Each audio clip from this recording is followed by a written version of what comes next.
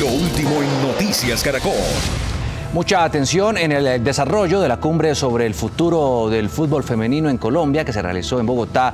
El dirigente Álvaro González se refirió al tema del acoso laboral y sexual en el balompié de nuestro país. Eduardo Ahumada nos cuenta qué dijo.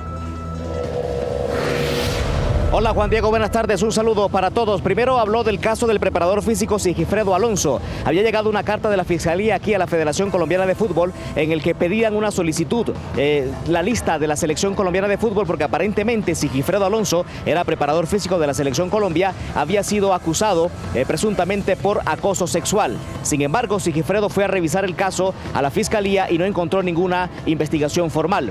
Pidió reintegro este preparador físico y la Federación Colombiana de Fútbol, que había despedido, por supuesto no lo reintegró. Y también habló del caso de Didier Luna, en el cual está envuelto en un escándalo de acoso sexual presuntamente, pero sobre esta información los directivos de la Federación Colombiana de Fútbol no tenían ninguna información.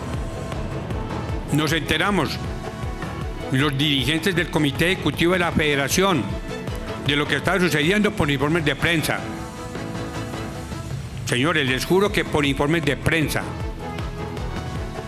Luego de los informes de prensa empezamos a indagar qué era lo que realmente pasaba, pero también se les olvidó decir que tenemos que combatir también el abuso entre el mismo género y el acoso entre el mismo género. Y con eso tampoco nos vamos a quedar nosotros impunes. Nosotros también tendríamos que entrar a buscar que se investigue eso. El Comité Ejecutivo de la Federación Colombiana de Fútbol ha dicho que espera que pronto estos casos se puedan esclarecer. Desde la sede de la Federación Colombiana de Fútbol, Eduardo Ahumada, Ana Milena en Cali, con más información en Noticias Caracol. El director de Coldeportes eh, vino rápidamente de una reunión que tenía sobre antidopaje en Colombia para hacer presencia y hablar sobre la preocupación que tiene el presidente Iván Duque y también la vicepresidenta Marta Lucía Ramírez. El gobierno nacional eh, también anunció un respaldo económico al fútbol practicado por en Colombia.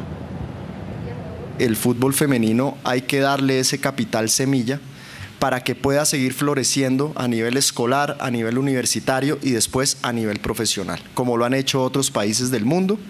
Y eso es lo que venimos a proponer hoy, presidentes.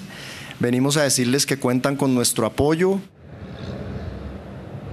También el director de Coldeportes anunció que gestionará la vinculación del SENA al fútbol femenino en Colombia para que apoye a futbolistas que deseen o que sean emprendedoras o microempresarias. Desde la sede deportiva de la Federación Colombiana de Fútbol, Eduardo Ahumada, Noticias Caracol.